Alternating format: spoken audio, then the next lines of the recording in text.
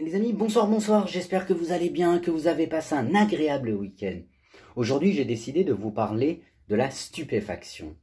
Il est vrai, il y a quelques jours, nous avons appris l'existence de dîners mondains clandestins, et quel ne fut pas notre étonnement et notre stupéfaction alors que nous sommes en période de pandémie. Mais qu'est-ce que la stupéfaction? Du latin stupefactus, composé de stupéo, la stupeur, et de factio, le faire, autrement dit ce qui fait engourdir, la stupéfaction, c'est l'état d'étonnement très profond qui empêche toute réaction. Mais cependant, quelle est la force de la stupéfaction? Ionesco affirme Plonge-toi dans l'étonnement et la stupéfaction sans limite.